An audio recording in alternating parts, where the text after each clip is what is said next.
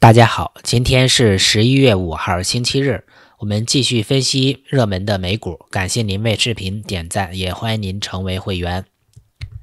美国前财长萨默斯说：“投资者不应急于宣布抗通胀任务的结束，哈，或者说抗通胀已经完成。”美国前财政部长劳伦斯·萨默斯警告称，应警惕金融市场中洋溢着的。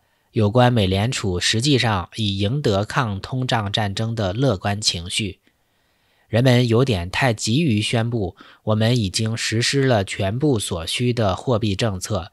萨默斯表示：“我们本周看到了非常戏剧性的反应，美国国债和股票上涨，这让我不像许多人那样确信遏制通胀的任务已经完成，战争已经结束。”萨默斯也再度批评近年来的美国债券发行管理。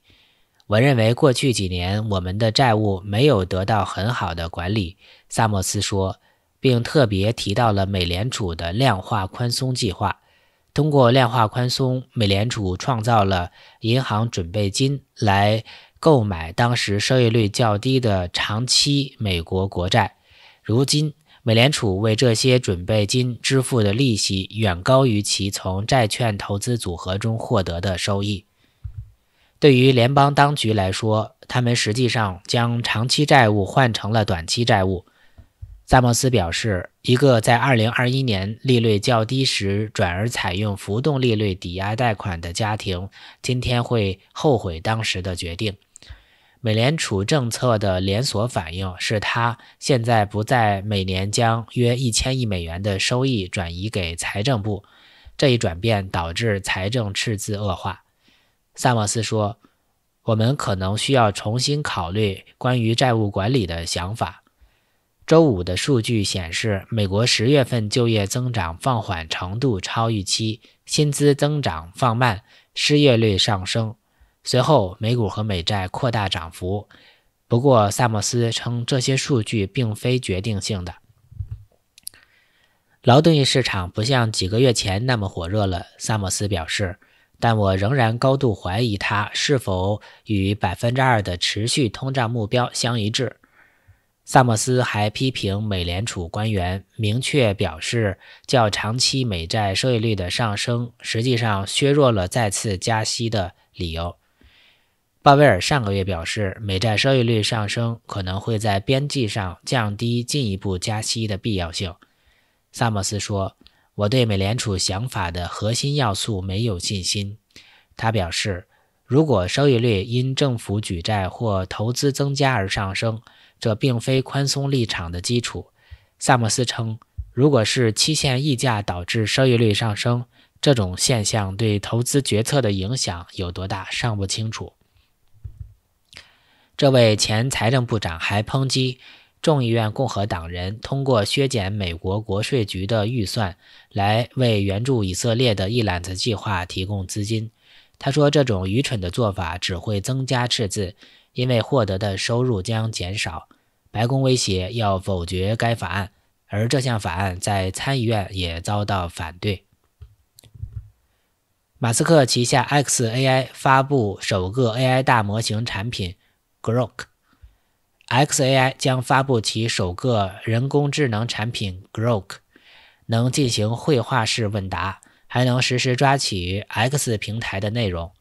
马斯克自己的人工智能公司正在推出自己的大语言模型，其中的重要功能之一是能够实现抓取平台的内容。关于 Grok 的细节。还不明确，但马斯克在今年四月接受媒体采访时就曾表示，将开发自己的人工智能，以挑战市场上已经大规模存在的大模型。我会从一种我称之为 “Truth GPT” 的东西入手，它是一个最大程度上探寻真相、试图理解宇宙本质的人工智能。我认为这可能是实现安全的最佳途径。因为一个关心了解宇宙的 AI 不可能毁灭人类，因为我们是宇宙中有趣的一部分。之后就有媒体发现，马斯克创立了一家名为 xAI 的 AI 初创公司，其员工来自 OpenAI、DeepMind、谷歌研究、微软研究、特斯拉以及多伦多大学。马斯克曾多次对 OpenAI 的 GPT 提出异议，称其基本模型具有极强的偏见和觉醒。他曾表示，xAI 的总体目标是构建一个良好的人工通用智能，其首要目标是理解宇宙。构建人工智能的最安全方式是制造一个极端好奇和寻求真相的人工智能。今年九月，甲骨文的联合创始人拉里·埃里森透露，xAI 已经签署了一份合同，将在甲骨文的云平台上训练其人工智能模型。好，那么周六呢，我们分析到了英伟达，我们继续分析美光科技的周线图。美光科技的周线图看起来似乎啊，震荡行情要选择向上运动的概呃。这个概率在增加，我们重新画一下它的技术线哈啊，我们看到近期有阻力区在这里洗盘、洗盘、洗盘，那么在本周也是强劲的反攻。按照之前的预期呢，是假设它继续震荡，是吧？也就在下方的支撑区选择做多，同时呢，感受到本周啊这个后几天多头的强劲啊，那么多头呢应该更有信心去做多哈。那么看这样子，接下来呢有可能要去突破啊。上方的一些，就当前这个阻力区，去运动到下一个阻力区，甚至更高的位置，对吧？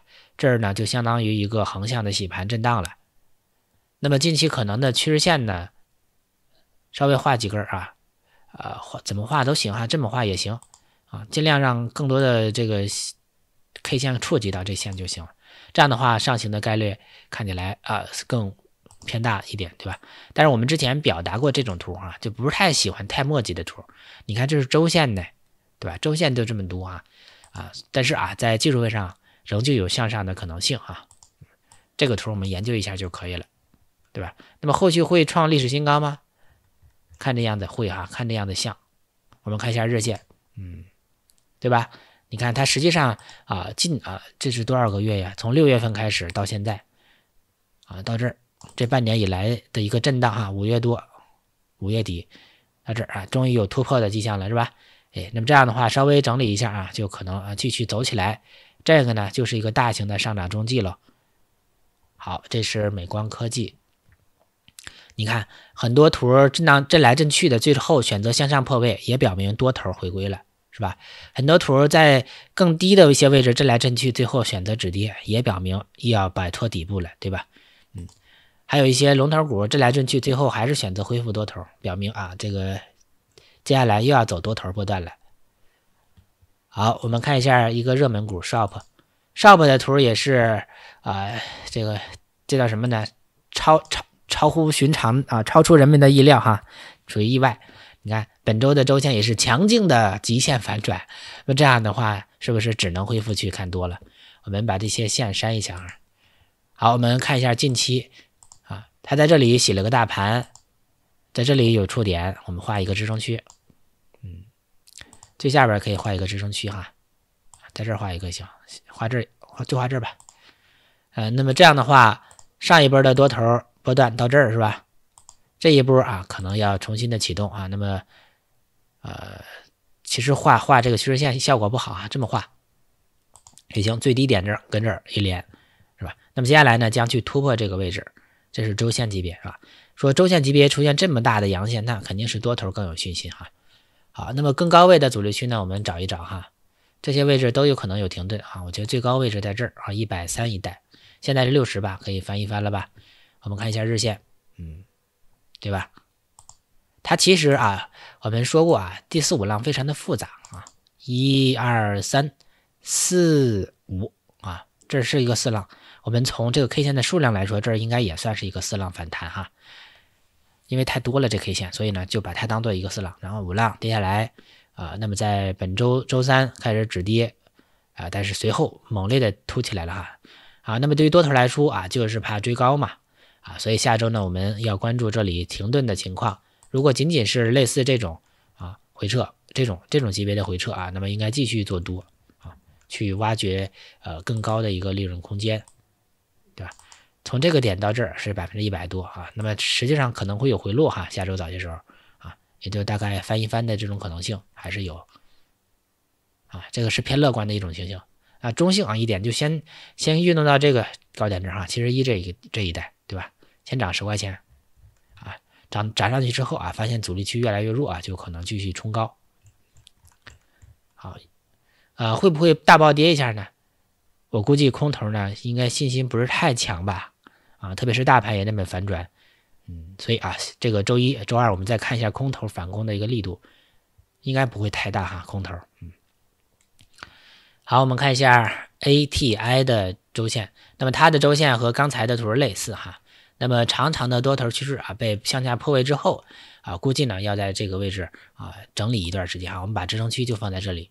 那么过去两周啊是一个强劲的反转啊反弹啊，看周线是这样哈，但周线呢上方遇到阻力区啊，这个位置是一个潜在阻力区，更高的一个位置画一个，嗯，我们看一下日线，嗯，啊，其实跟刚才那图挺像哈，都是非常迅猛的去反转，我们不妨就直接画多头趋势线啊。那么下周啊，是不是要在这里看洗盘的情况？然后啊，看看能不能突上去，突上去呢，将去摸四十七块九这一带的阻力区，啊，之后呢，就更高的位置在历史上是九十九一带，也就一百元一带啊，对吧？你看历史啊，那么我们再回到周线图感受一下，我们把周线图的这个大型下跌趋势线画到这儿，你会感到它此轮上涨是一个长的上涨周期，是吧？嗯，所以呢，这是一个大型的洗盘哈。走起来，飞起来，去测试历史高点的概率也是有的吧？九十九这一带，好，那么四十一到九十九也百分之一百多吧？好，当然那是较长远的一个未来了。那么我们日线图呢，要关注啊，接下来在这阻力区停顿的情况，如果空头不能强势的入场，也不能强持续的强劲，那么多头呢应该继续进场。你看这些空头啊，小空头，对吧？就有下影线，都说明啊，空头不够强势。那你看。周五这根也是空头，不就不够强势哈，想往下砸，但是又弹了起来，那么后续呢上行的概率啊就会提高。好，这是这个图，我们看一下八八八八这个图的周线图，感受一下。周线图呢，在此此轮的抄底过程中啊，市场迟迟不启动，也是多方面的因素导致的，对吧？呃，那么最终呢，我们看到技术位上呢，是在这个潜在头肩大底的肩膀位置进行震荡。啊，那么虽然过去两三个月又落下来哈，但是整体上还是在这附近哈，它不选择持续性的暴跌了。说为什么呢？我们看最低点在这儿，第一大浪上去了吧，第二大浪落下来，哎，没有创低点，对吧？多头看到没有创低点，他怎么看到没有创低点呢？他看到阴线变小了。我们说空头必须得持续。而且得强劲的持续哈，持续的强劲是吧？你得强，你看它变弱了，变小了哈，而且跌了这么多根儿都没有跌穿这个肩膀位置啊。那么多头顺势尝试了一下，但是呢又跌了回来。你看跌到这肩膀这儿，空头又小了是吧？对吧？这又来了两根但是呢又被多头反转哈，所以这肩膀位置就有可能真的是潜在的肩膀是吧？啊，那么只要它是肩膀的位置，对于多头来说止损空间非常的小哈。包括啊，这两周的 K 线啊，都再次触及到这个肩膀，是吧？这两周的多头 K 线又出来了。那么这样的话，空头怎么就不砸破呢？他不想砸了呀，是吧？只有这一个解释，他不想砸了啊啊。那么多头的止损就放在这附近啊，八十一带就可以了，七十八到八十一带这位置。说应该做多吗？应该还是维持做多的思路啊。它什么时候启动？感觉快了哈，嗯啊，但是咱们猜不透哈。我们就知道啊，在该尝试建仓的位置应该尝试建仓。至于什么时候启动，那就交给交给一切吧。这一切呢，就是到底是最终是什么驱动起来的？有的人觉得是那个，有的人那个啊，反正交给他吧。啊，好，我们看一下日线哈，日线呢在周五尝试去突破这根下跌趋势线是吧？哎，这就是第一次尝试突破啊。这样的话啊，接下来一周呢，我们再看看这里止跌的情况。那么如果空头，不能强劲的回归啊，那么就只能做多哈，是吧？嗯，再跌往哪跌呢？是吧？嗯，好，这就是潜在的头肩大底。我们看一下周线，嗯，那么接下来呢，这位置呢，呃，我们哎，这个工具啊，我们看一看啊，到这个潜在的颈线位置，大概有百分之四十的空间，是吧？嗯，蓄势蓄势反攻，再蓄势，哎，再反攻，是吧？去测试这个颈线。那么一旦走起来啊，那就不得了了，对吧？那么更高的阻力区呢？啊，在这些位置啊，或者更高啊，都是有可能的。啊，头肩的头肩底的一个等距离位嘛，我们把这线拉开，你就看到了，头肩底的等距离位大概就这样。啊，也不能太太理想化哈，大概差不多了，目测就行了。哎，那么这样的话，啊，一旦启动哈，第一位置就是中间这根横线，第二个位置就是这儿百分之一百五啊。嗯，说八八可靠吗？不知道哈，一切都有可能啊。我们只是说，在一些技术位呢，我们用线段画一个肩膀吧，这样就省得调那个长的趋势线了。这样是吧？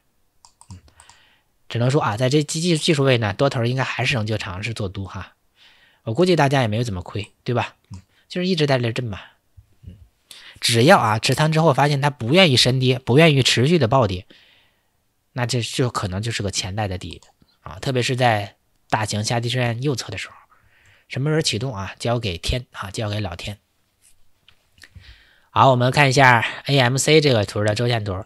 那么这个图的周线图，我们上次分析过一次哈，就说它有可能去测试一下这根横线代表的阻力区怎么样？本周是不是谈到这里了？那么接下来有没有可能反攻呢？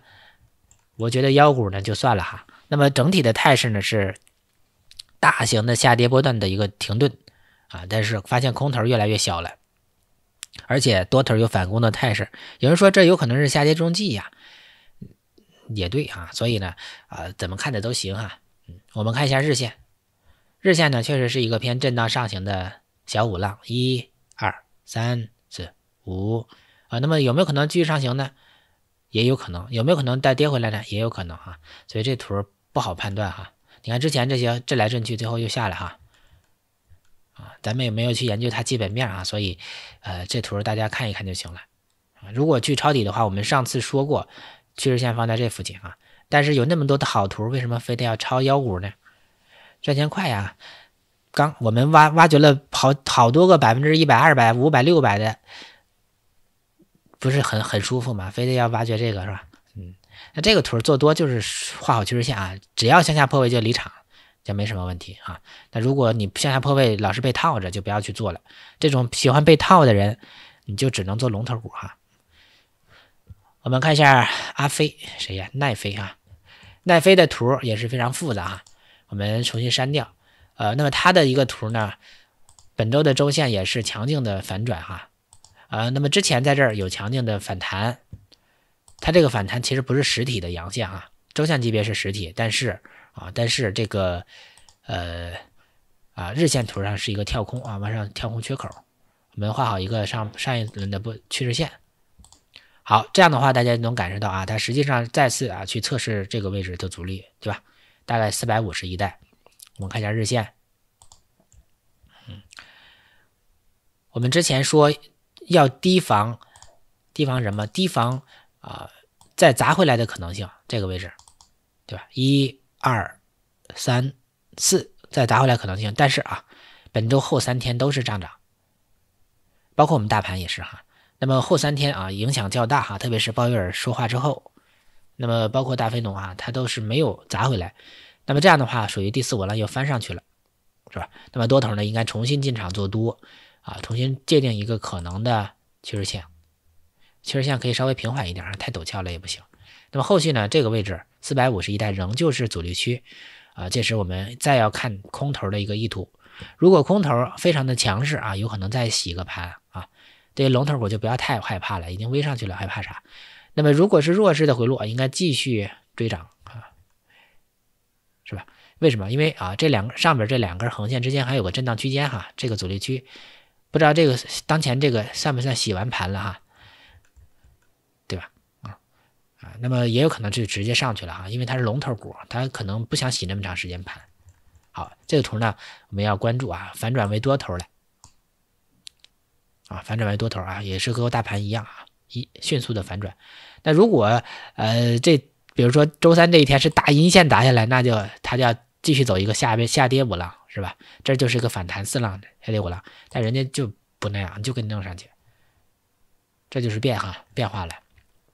多头呢应该继续持仓看涨，嗯啊，整体看来像是一个大型的洗盘啊，洗完盘之后继续涨。好，我们看一下日线，嗯，好，我们看一下波音。波音的周线图，我们在本周发现了强劲的向上突破啊。那么本周的周线也是一根大周线级别的阳线啊，但是由于呃这个位置也是一个阻力区，它也需要一定的回落啊，洗盘。好，我们看一下日线，嗯，这儿对，我们啊有一天啊，周四、周二那一天，我们说哎有突上去的迹象，我们迅速就说啊要看回落止跌情况。那么很显然，它在周三这一天仅仅是简单回落了一下，就继续涨了。啊，那么应该啊画好这个趋势线啊，等待一个再在这个阻力区的一个浅落，浅落之后应该去尝试做多，嗯，是吧？嗯，这是波音啊，波音的图呢，有时候上行太过迅猛啊，或者说啊，然后下跌就非常也非常迅猛啊，所以这更适合做波段交易哈。画好你的波段啊，这是波音。好，我们看一下台积电。啊，台积电的图也反转上来了啊，周线级别。那么这样的话，构成一个潜在的右侧底部哈，下跌圈的右侧底部，这些趋势线呢啊都啊暂时的失效了哈。我们应该尝试进场做多，对吧？它不愿意去深跌了。我们之前说要提防它落下来，可能要仅仅是提防哦，但本周啊强劲的反转，那么低防的概率就会降低哈，我们就要反转为多头哈。我们看一下日线。嗯对吧？啊，跌下来没有去把这低点跌破，也没有跌破这上去，那么止跌的概率会更高。为什么呢？因为近期下跌趋势线已经进入到了右侧的点位，是吧？只不过啊，本周非常的复杂，所以我们在观察是往下砸还是止跌。他选择了止跌，我们就应该跟着他的方向走，他的方向倾向于向上。说业绩不是不好了吗？嗯，有多少业绩好或不好有什么重大影响吗？它只在某些时候有影响。当市场风向变的时候，谁管那个呀？对吧？说万一后边再跌了呢？那就市场又市场风向又变了，对吧？变来变去啊，多空双方都琢磨不定的时候，大家就要守好，特别是多头就要守好我们的止损点就行了，就甭管风云奈何它风云变幻，我们只守好我们的小止损，是吧？或者画一个局部趋势线，把你的止损点呢沿着趋势线去调一调，对吧？就行了。嗯，不会天天风云变幻的，那还了得？哪有那么多基本面，对吧？风云变幻啊！大家一定要有信心哈，特别是多头。呃，我们看一下，呃，我们把特斯拉看一下吧。特斯拉的周线头感受一下，你看，特斯拉其实啊，周线级别不是特别乐观啊。它的本周周线也是虽然是阳线哈，表明啊，在这根横线代表的支撑区呢可能会止跌。那事实上也算是止跌，为什么？它又把收盘给收上去了。是吧那么，如果它本周也是走悲观的情形的话，就麻烦了，是吧？那么这样的话，这也是一个 A、B、C，那么走奈飞那种图的概率就高啊。第四浪、第五浪就直接反上去了。所以我们看一下日线，嗯，日线啊，空头反攻力度不强啊，不强，对吧？而且周五这天收阳线啊，那么这样的话，我们说周一周二稍微横盘止跌就可以了，就可以进场做多。如果还是大阴线呢，不要怕，下方带好止损就可以了。嗯我它涨和跌我们都能处理，这就可以了，不要特别关心涨和跌。好，这是今天这期内内容。那么下期呢，我们继续分析一些热门的标的哈。好，欢迎大家成为会员，再见。